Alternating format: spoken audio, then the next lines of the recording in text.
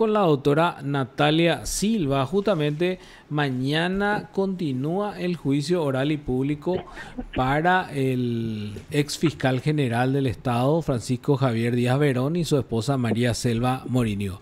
Buenas tardes, doctora, ¿cómo está? Muy buenas tardes para ustedes y también para toda su audiencia. Sí, doctora, justamente decíamos, mañana continúa el, el juicio oral de, del caso del ex fiscal general y queríamos saber las expectativas, teniendo en cuenta que creo que se van a resolver los incidentes previos.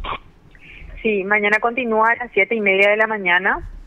En, en este caso, nosotros tenemos que estar contestando los incidentes planteados por la defensa y también eh, seguramente se van a estar resolviendo los incidentes también o el incidente también planteado por por nuestra parte junto con la fiscal Claudia Aguilera, ¿verdad?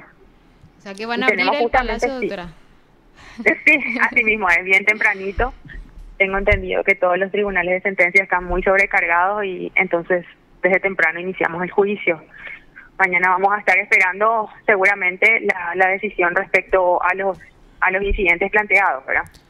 En el caso de usted, doctora, piden una prueba que les parece creo que fundamental también el tema este del veterinario Gregorio presentado. O sea, los veterinarios, porque creo que se llaman igual, ¿verdad? Sí, sí, eh, son dos veterinarios que han realizado un informe en el marco de la causa de la causa de referencia. En su oportunidad, el juez Julián López había ordenado la exclusión de ese informe sin embargo, nosotros ahora, en, en etapa de juicio oral y en virtud al control horizontal que tiene el Tribunal de Sentencia y también a la facultad que tienen ellos de, de recibir los incidentes planteados por las partes, hemos planteado correctamente la inclusión de ese medio probatorio que hemos ofrecido eh, en tiempo y, y forma. Hemos ofrecido con la acusación entonces, nosotros por eso hemos solicitado la inclusión y también resaltar, eh, Raúl, que un informe de la misma naturaleza que este, elaborado también por los mismos profesionales, Gregorio presentado y el, el, el doctor presentado, ambos profesionales, ya fue admitido por el Tribunal de Sentencia que estaba presidido por la doctora Elsa García, también eh, integrado por la doctora Yolanda Morel y el doctor Jesús Riera, en el caso de Miguel Cuevas sobre enriquecimiento ilícito.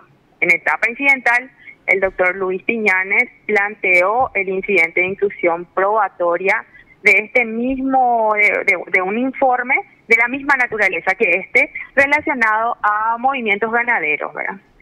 Eh, entonces, el tribunal consideró viable esa admisión esa admisión de ese, de ese medio probatorio porque no viola ninguna garantía y tampoco puede ser considerado como una pericia. Nosotros también, eso también traigo a colación, ¿verdad?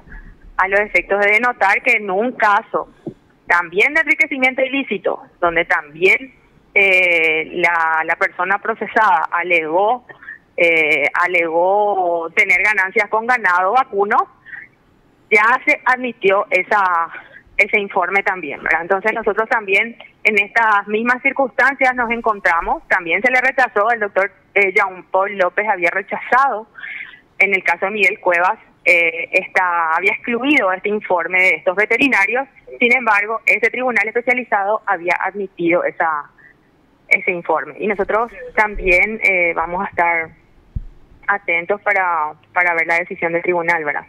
En este caso, el Tribunal de Cuevas Especializado, eh, este creo que es un tribunal ordinario, ¿verdad, doctora, o no? En este caso pasó una circunstancia muy peculiar porque se fueron, eh, se, sucedieron una serie de inhibiciones por parte de los jueces de, los tribunales especializados. En este caso, ¿verdad? Entonces, finalmente, eh, están eh, jueces del crimen organizado, en este caso. Ah, ya, ya. jueces del crimen organizado. Los jueces del Tribunal de Delitos Económicos se han inhibido.